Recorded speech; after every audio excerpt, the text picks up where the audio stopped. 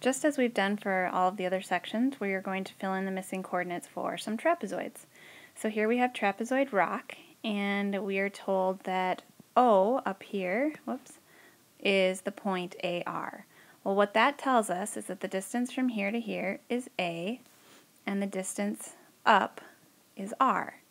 Well, when I see these marks, that means they're congruent, so I know that that is A, and I can then fill in R, C, and K, the ordered pairs. So let's start with R. Since R is on the y-axis, we're just going straight up. That's the point 0, A. And C, we're just going straight across on the x-axis, so that is the point A0.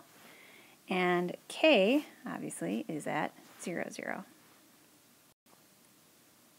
In isosceles trapezoid, trapezoid ORCH, we're given a couple of things. O is JA. So what you have to understand is that from here to here is J. And then up is A. We are also told that C is at S. So what you have to notice here is that this short distance here is J, and the whole distance is S. Well, because this is a trapezoid that's isosceles, what we know is that this piece right here has to be congruent. I can draw a congruent triangle um, on this side, and I know that this distance is also j, because those have to be congruent. So, in order to figure out these other ordered pairs, First, I'm going to start with the easy one, which is h. I know that's at 0, 0. And the only other one that I need to figure out is r.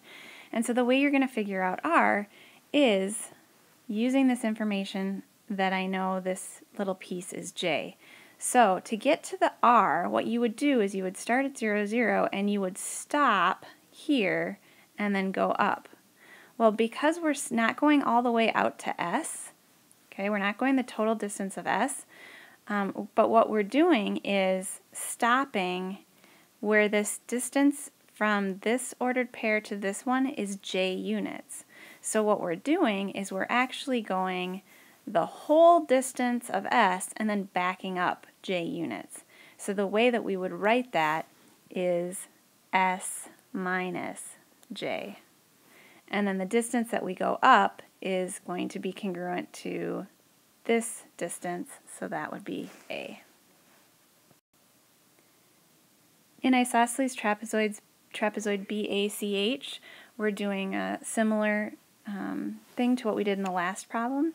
So first I'm going to notice that from 0, 0 out to here is m units, because that's the point m0.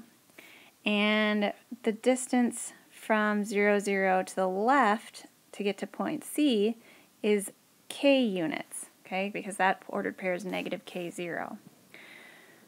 So what that tells us is I can draw a congruent triangle over here and know that if this is k, then, let me change my color so you can see this, then this distance is also k. So what we're doing to get point B is we're going all the way out m units, but then we're backing up k units to get to here.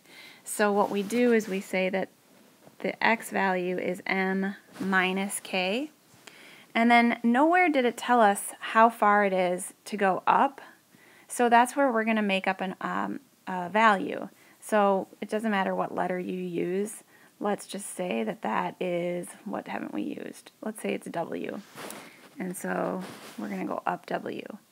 So then for point H, because that's on the y-axis, we're just going up W units, so that's the point 0 W.